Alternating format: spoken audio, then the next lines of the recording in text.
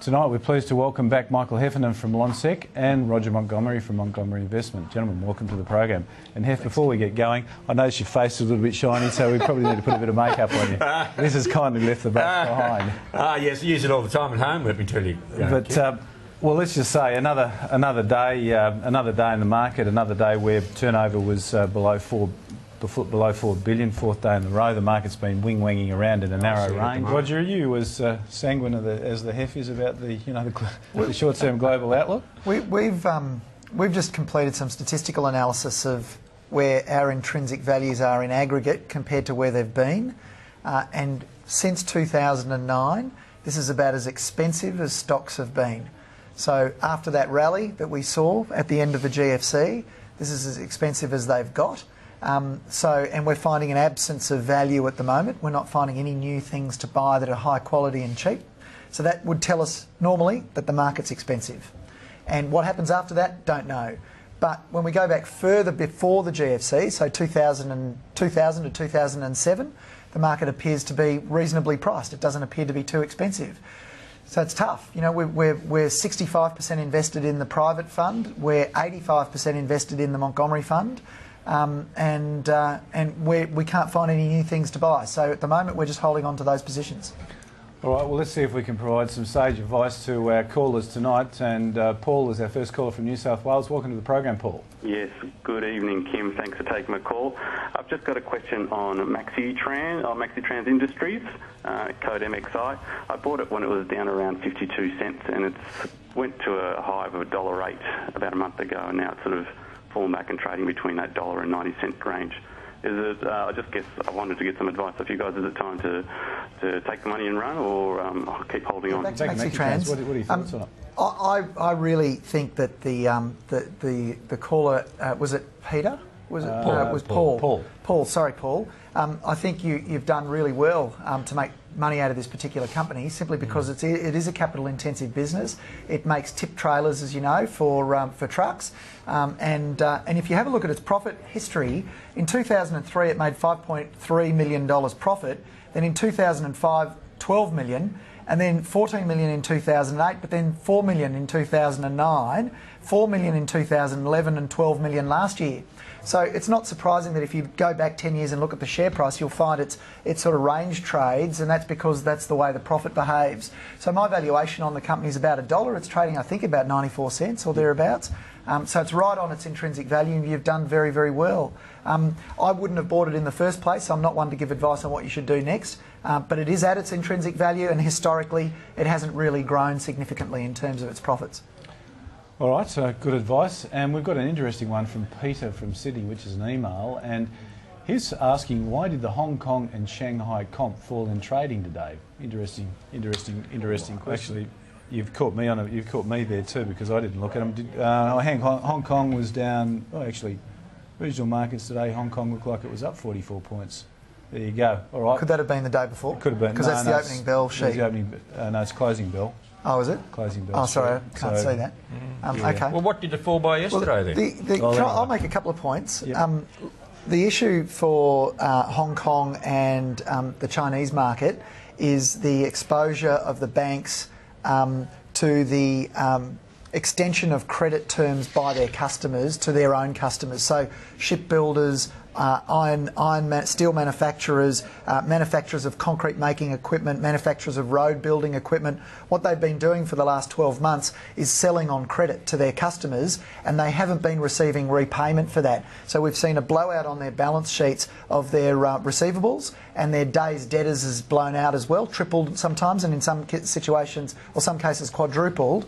Um, and that's going to flow back to the banks because what they've done is they've reported increases in revenue, they've reported increases in profits, but they're accrual profits and accrual revenues, not cash flow.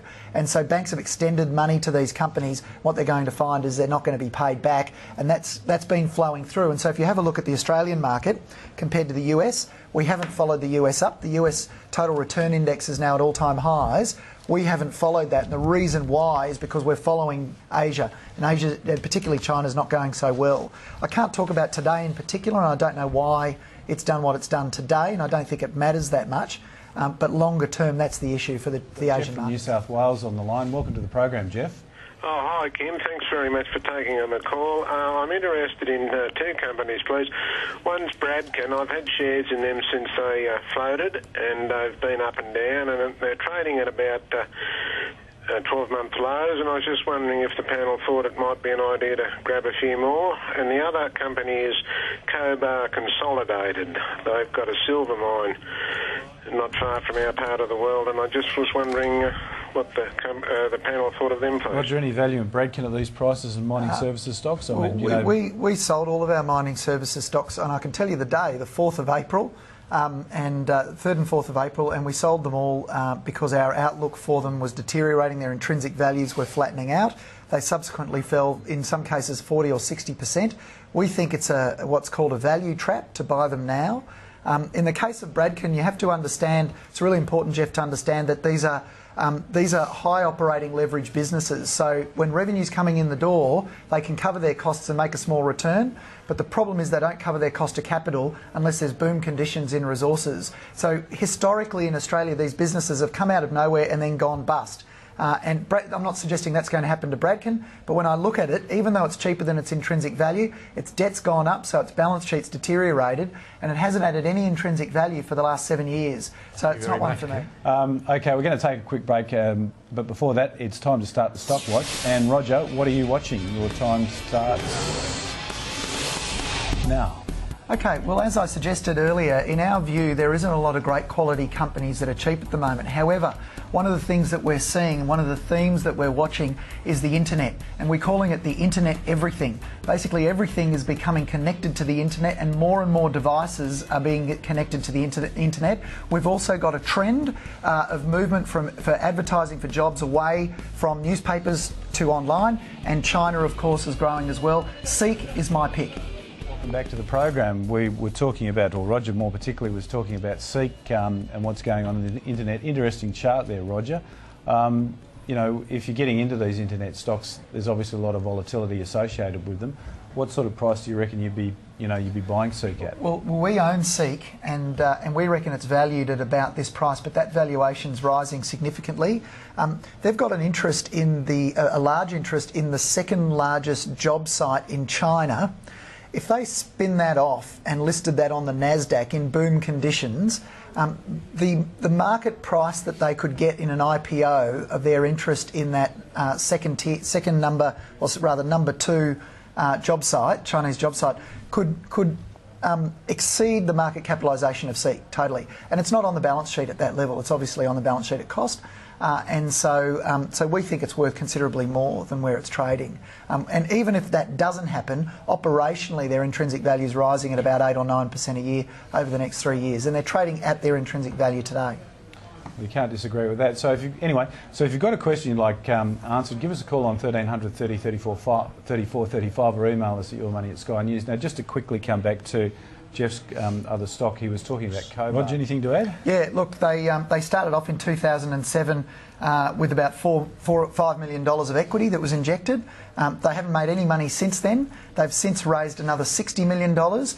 Now they're forecast next year to make their first profit. You know, I've seen that before. We've all seen those forecasts, uh, but they're forecast to go from a four million dollar loss this year to a 17 million dollar profit uh, next year. And if that happens, well, their valuation is about 50 cents, which is roughly where they're trading. They're trading about 55 cents. So that's what they're worth. All right, okay, well, let's move on to a much more interesting stock than that. When Steve from New South Wales has got a question about QBE. Fire away, Steve. Uh, good evening, panel. Evening. My, my question is with regards to QBE. It's um, all the press we read about QBE tells us that the, the company has $24 billion somewhere in America invested in um, a, a low percentage uh, dividend return. Treasuries. What- whatever they are. Yep. Now, they're, they're, they're supposed to have 1.1 billion shares on issue. If they've got 24 billion dollars that they can get their hands on, um, and they've only got 1.1 billion shares on issue, why is their stock price um, 10 bucks, 11 bucks? Good, good, good. good, um, what are your thoughts of QBE at this Well, well, in answer to Steve's question, the, the reason why there's two reasons why it's trading where it's trading, despite the treasuries that it's got. Steve, what you have to appreciate is those treasuries represent float. Um, and, and what that means is there are claims, contingent claims against that money. So they've raised money in premiums. Uh, so they've charged uh, uh, people who want to be insured a premium. They've received that premium. They've gone and invested that premium. It's called float.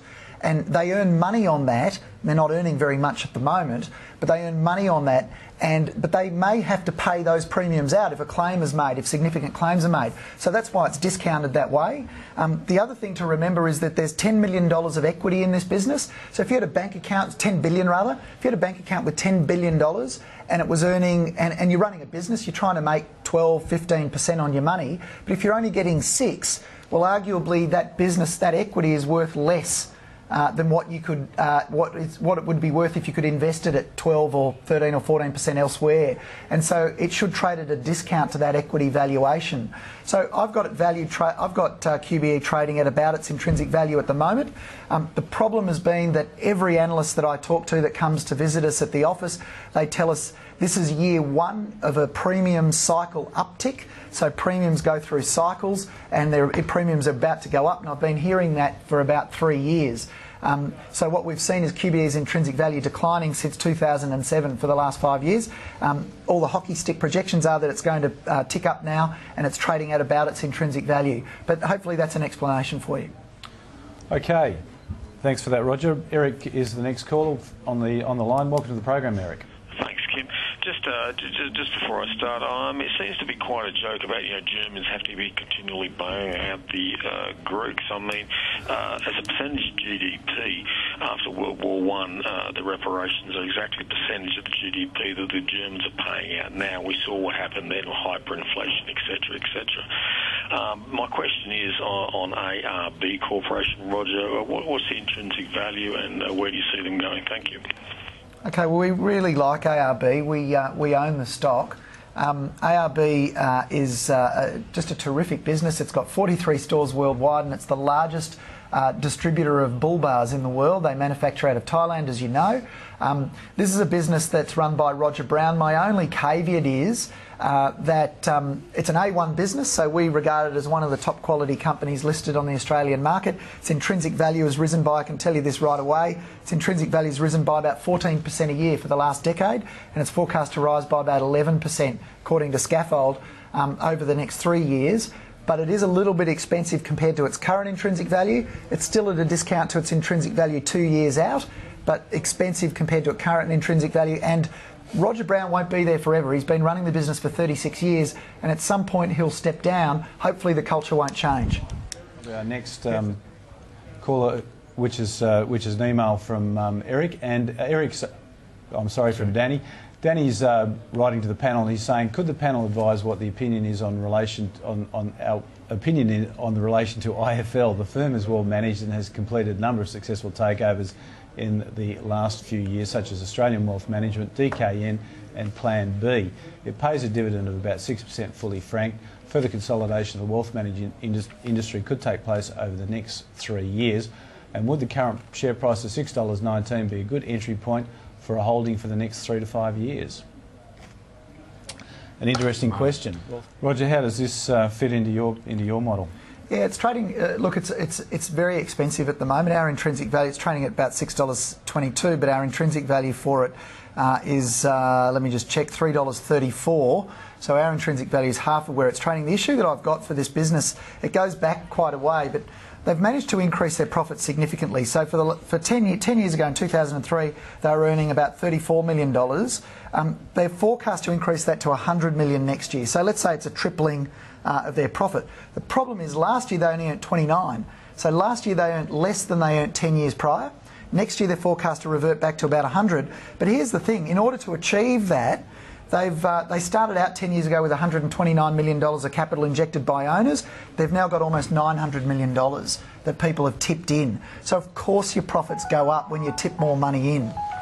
That'd be your mum. Uh, yeah, saying you're late for dinner again. I can see you on TV. Uh, you're on TV, yeah, Michael. Okay, if you don't, if you just bear with me a moment. Um, it's reminding uh, me of the time, actually. So, so you know, they had 49 million shares on issue 10 years ago. They've now got 232 million shares. So, so you could do that with a bank account. You put more money in a bank account, you earn more interest, and that's why the share price today is roughly where it was a decade ago. Okay, you. Janine from Melbourne is our next caller. Welcome to the program. What question would you like to ask the panel? I'd like to ask the gentleman uh, about Fleetwood. I know that it does service, part of it does service the mining company and other caravans, and some analysts are still recommending it. Um, I'm just wondering what the panel thinks of it. And Adelaide Brighton, if they have time, please. Okay, a couple of interesting stocks there. That's uh, Fleetwood's popped up a couple of times, couple of times here um, on, on, on the program. Um, seems to be, you know, a stock that's in um, just about on everyone's buy list at the moment because of um, you know the, the, annuities that it's getting out of the uh, West Australian government running some of these um, some of these accommodation mm. centres in, in the northwest. Um, what are your thoughts on Adelaide Brighton? You can well, do a wrap on well, there's two. Fleet, you know, Fleetwood, it's, Fleetwood at the back if you want it. It's a tough one because um, you know on, on, the one hand you've got the view that uh, we're at the bottom of the cycle for building in Australia and and you know builders are doing it tough, but that's what always happens at the bottom of the cycle. That's on the one hand, and it's all going to get better with interest rate cuts. On the other hand, you've got this idea that we're going to see massive capital outflows from Australia next year, um, which is going to push us over the edge. You know, our, our balance of payments deficit can't be sustained um, without capital inflows, so capital outflows are going to be a major problem for us, and we have to turn the brakes on the economy um, in order to fix that. Um, so the so so I look, I don't know the answer to that question. What I do know is Adelaide Brighton's intrinsic value has been going up pretty well uh, over the last six or seven years, but it's expensive at the moment. Um, and that's why its share price today is about what it was in 2006 because it's been expensive for a long time. Any thoughts on uh, Fleetwood? Yeah, Fleetwood. Look, we know Fleetwood well. We've owned it twice in the last 10 years, uh, and um, and the last time we bought it, and I'm quite proud of this particular trade, Kim. We bought it in the GFC at about three dollars fifty, and I sold mine at thirteen dollars. And the, the guys at the office like to rib me about it because they sold theirs at fourteen dollars, um, which was at the at the highs. Um, but here's an interesting statistic. If you look at the options that were issued to some of the management team over the last 10 years, what you'll find is they started off with about $400,000 worth of stock. Um, 10 years ago, and that's grown to something like 40 million or 80 million dollars worth of stock. Uh, and um, and so a shareholder in the business couldn't have achieved the same returns as management the share price would have been a lot higher if not for those option issues. That's my only bugbear with this particular company. Otherwise, I really like it. It's just expensive at the moment. All right, we'll move on to our next caller, who's Jacinta from Brisbane. Welcome to the program, Jacinta. Hi. How you going? Good, thank you. Um, I've just got a question around um, what your thoughts are around the future prospects of Nido Petroleum. Nido Petroleum. What, uh, what, what do you know about it, Jacinta? Because I know absolutely zip. I know that I've bought stocks in it, so just want to get some opinions around what, if you know anything about it, and what the future prospects might be. Any ideas where it might be operating? Yeah, the Philippines. Philippines, um, okay. Uh, but it's um, it is a specky. It's a yeah. speculative stock.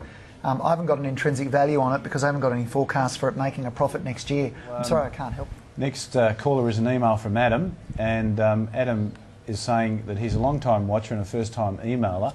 And Cardno has been in a fall, free fall for the past couple of days after disappointing half year earnings forecasts. Does, does the team think this is a, a good contrarian um, investment opportunity or a dangerous place to be? Um, the graphs in, in graphs, if we, if we do get a chance, Roger, how does this uh, stack up? The, the Cardno's a consulting engineer, so they're not a capital intensive business. Mm. Um, but uh, the issue for them, and one of the things I can't seem to understand, is they just keep raising money and they keep they keep making acquisitions and they keep uh, raising fresh capital. So their profits have gone from $1.7 million about 10 years ago to $74 million last year. Um, but in order to achieve that, they've raised they had $17 million of equity put in by shareholders 10 years ago. That's gone up to 460 million. So they've raised $450 million in the last decade to increase their profits from about $7 million in 2003 to $74 million uh, $74 million last year, and they're increasing their debt. So when a company has a, a sort of a, a, negative outlook statement and its debt's gone up, uh, and it's grown through acquisition and capital raisings, um, it's not surprising that it's had such a big correction. It's still expensive even after the correction in the share price. Well, so far we've had we haven't been able to find anything to buy. We've been able to bag plenty of stocks. I want to oh, I said right at the start. yeah, know, I couldn't I find any high quality exactly, things exactly. But uh, this is what, what point I made earlier about you know, there, there is there is obviously some pockets of value in the uh, in the mid caps. I think it's fair. I think that's I think what Michael's saying is absolutely right. But but you know, this time last year we were seeing lots of bargains. You know, we were seeing things that were absolutely cheap that looked really good value. and, and now it's you know it's line ball. You know, is, is it cheap? Is it not cheap? It's too close to call for us. Yeah. That's the issue. Yep, no, I have to agree. There's uh, two schools of thought on that. Okay, Simon's our next, next caller. Welcome to the program, Simon. Yeah, thanks for taking my call. Um, with interest, I've been, what I've been reading, with interest rates coming down hopefully next year and uh, a lack of supply in the residential housing market, I've been looking through scaffold at a few uh, stocks that I might get into in the in the, that sector, and I've looked at CSR, Boral, James Hardie, and Adelaide Brighton. And I was just wondering, Roger and Hef, um, is there any stocks on their radar for the residential construction industry? Well, yeah, good question. We, we did touch on we've touched on Adelaide Adelaide Brighton. So, Roger, do you want to take first bite at that? Yeah, look, uh, look, we've got a pretty simple rule when it comes to residential construction businesses, particularly the developers. You you want to buy them at a discount to NTA, and when they get back up to NTA, uh, then you end up selling them. And, and, historically, that's been a very wise thing to do. Um, I read some research that said Brickworks looked pretty good because it was exposed to a, a, turnaround in outer Western Sydney properties, and then some very large developments being conducted by developers like Landcom. Uh, out west. The only problem for us is there's not a lot of value in the sector, you know, and Boral's intrinsic value has been declining for 10 years. Having said that, Boral's exposed to the United States, which uh, many experts are now saying, even Warren Buffett, who's got a lot of exposure to residential construction in the United States, um, he's saying that uh, that that oversupply, the overhang of properties, uh, no longer exists, and that's being absorbed. And so we're going to see a recovery of housing uh, in the United States. I, I can't disagree with that. I don't know any any other any other view. Um, uh, in Australia, low interest rates will start to move people into the stock market, as we're seeing, and then it will move people into property as well. So you could be right. There could be a, a momentum uh, opportunity there, but I can't find a lot of value. Well, do you prefer James Hardie over Boral for that uh, for that exposure in the in, in the states? no, I prefer Boral out of those two. Brad's our next caller from Sydney. Welcome to the program, Brad. Yeah, hi there. Um, look, I'm just uh, ringing up a, about a stock called Jumbo Interactive. Um, I'd like to check maybe if um, Roger could give me a valuation on that, um, JIN.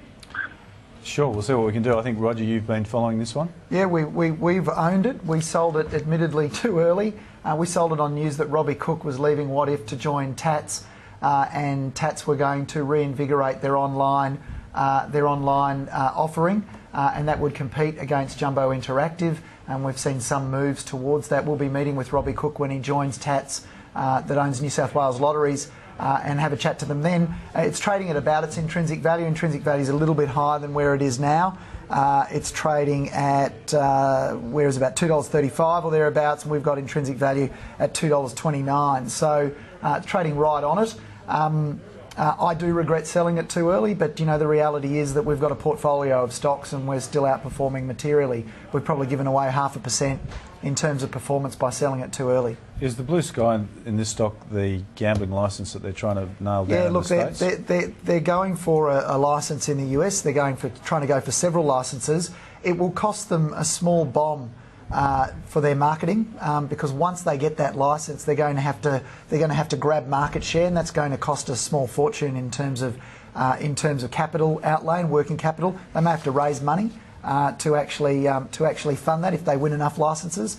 Um, but that would be a material uplift in their expectations, and you'd imagine that the price would go um, would, would continue to rise exponentially if they won a license overseas. Um, our view is that um, our view is that their Australian businesses will soon be under threat from a from a reinvigorated competitor who used to be their partner, and that is uh, Tatts. We can because we've got Jim from Victoria on the line. Welcome to the program, Jim.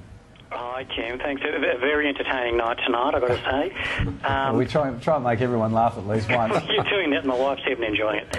oh, well, there you go. Um, can I just have a fundamental analysis on scaffold from Roger on Coca Cola CCL? Inter- interesting stock, the ultimate defensive stock to be in. Yeah, look, Everyone uh, says it's, it's too a expensive. business that changed its spot some years ago because it was a bottler, so uh, it had all the infrastructure. And now makes beer too. yeah, that's right. Got to be a good. But thing. it had all the infrastructure. So Coca-Cola in the United States owned the brand and the, the recipe for the syrup. It sold the syrup uh, to uh, to bottlers, and the bottlers had all the infrastructure and all the maintenance. Uh, that's changed somewhat now, uh, and uh, and Coca-Cola's got terrific prospects, and that's why the price has done so well over the last decade. Intrinsic value's risen, but it is expensive now. So our intrinsic value on this is. Uh, well, Scaffold's intrinsic value is $8.76, rising next year to $9.51 but you've got the share price at over $13 at the moment. So I'll just add one extra point for Jim. Um, Jim, Coke is a company that's never in the last decade traded at a discount to its estimated intrinsic value. And so if it got down to around its intrinsic value, if it got within sort of 10, You 5, probably, you 10%, probably, you probably, wouldn't, you want to, wouldn't want to buy it. well, no, well, it's happened a couple of times that it's got close, but it's never got to a discount. So I, I'd be tempted to be buying it if it got close to those levels. Okay, we're going to run out of time, but look, just a quick comment because um, there was an interesting thing on the wires this afternoon from David Baker, who runs $1.2 billion out of uh, London in, in, in, in gold funds. He's talking about you know gold breaking out above 1920 very very soon. So just a quick wrap from both of you. What, uh, what what are your views on the on the on, on the gold price? I mean, you know, We own gold. We own Yeah. Silver Lake Resources. Yep. And every year for Christmas, I buy my wife some gold, some physical gold, um, uh, just because it's a nice thing to do. It is Uh, a nice thing to do. Yeah, and, uh, and that's about it.